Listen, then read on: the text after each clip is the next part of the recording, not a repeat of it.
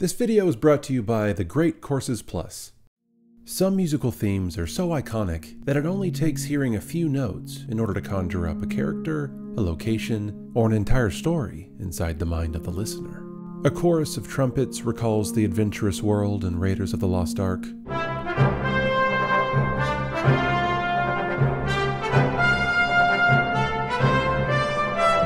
Thunderous brass instruments in an unforgiving percussive march signals Darth Vader in The Empire Strikes Back.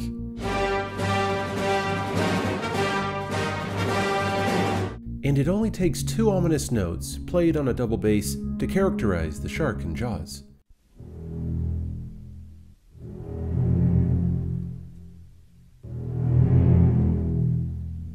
These three musical themes are examples of what is called a leitmotif. Popularized by German composer Richard Wagner, a leitmotif is a recurring musical melody associated with a person, place, or thing. The concept was first introduced in operas as far back as the early 17th century, but has always been prevalent in the composition of film scores. And perhaps no composer has utilized leitmotifs better than John Williams.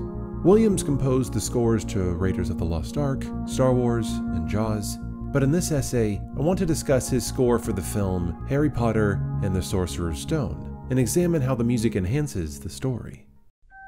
As the picture fades in, so too does the song The Arrival of Baby Harry. Childlike twinkles of a celeste over sustained groans of a double bass immediately capture the dichotomy of this story light and dark, good and evil, but it's also the unusual instrument selection by Williams that adds to the overall sense of awe and magic throughout Harry Potter. The Celeste looks like a standard piano, but where the piano gets its sound from hammers hitting strings, the Celeste gets its unusual sound from hammers hitting tiny metal bars. The delicate bell sound of the Celeste is rarely utilized in musical compositions, placing it more often in the special effects category of instruments. And because of that, hearing the instrument highlighted in Harry Potter immediately signals an abnormal score and an abnormal story. Williams utilizes other unusual instruments throughout the score, like the contrabassoon, an instrument capable of reaching pitch levels lower than the human ear can detect. The contrabassoon is comically juxtaposed with a soothing harp in an unlikely duet called Fluffy's Harp, in order to represent the giant sleeping three-headed dog and the magical harp in the story.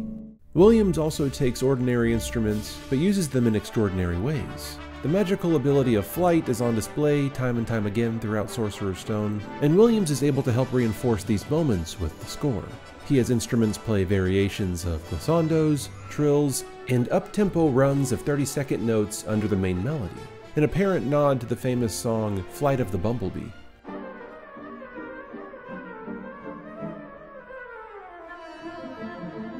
This happens when the owls deliver mail in the Great Hall, when Neville takes flight on his broom, when Hermione levitates her feather in Charms class, and when Harry retrieves the flying key. The celeste and the auditory sensation of flying combine beautifully in the melody Hedwig's theme, by far the film's most iconic leitmotif. Williams quickly establishes this unique musical melody as the main theme for the Harry Potter series by repeating it time and time again throughout the film. Different variations of Hedwig's theme appear 10 times in just the first 18 minutes of Sorcerer's Stone.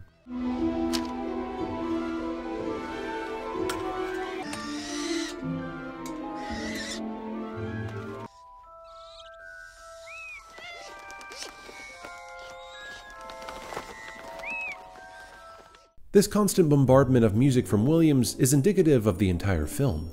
Of the film's 152 minute runtime, Williams composed over 73 minutes of original music.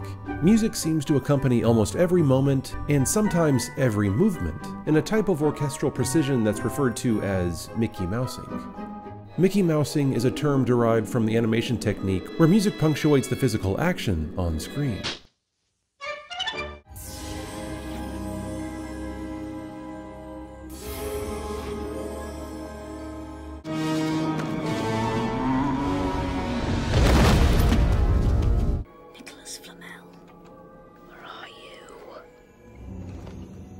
In stark contrast, music is largely absent from what could be considered the ordinary.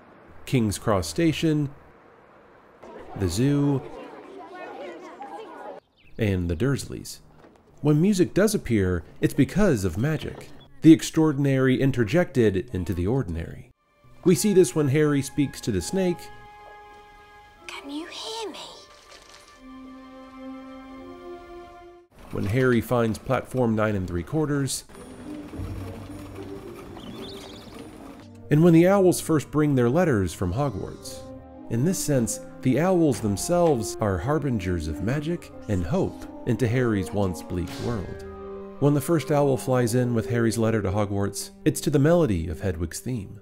This leitmotif doesn't signify just a single character or location, but instead signifies all the encompassing beauty and magic found within Harry Potter and the Sorcerer's Stone. It's the first melody we hear over the opening credits, and the last as the film fades to black.